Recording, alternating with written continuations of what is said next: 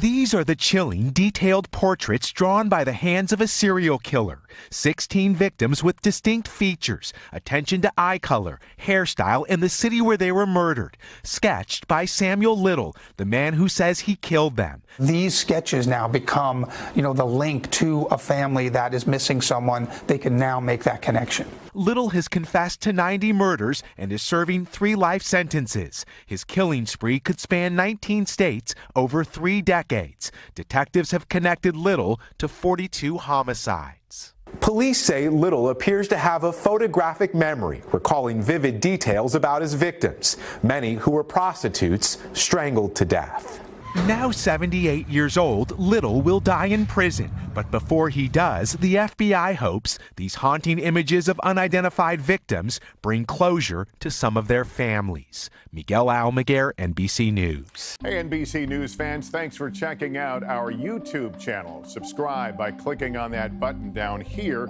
and click on any of the videos over here to watch the latest interviews, show highlights, and digital exclusives. Thanks for watching.